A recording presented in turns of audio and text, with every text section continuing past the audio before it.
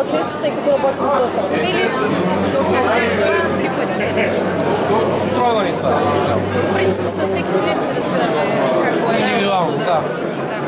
Добре. А като цяло, ако се свържеш с вас, защото ние след 30 започваме сега, 30 април. Така.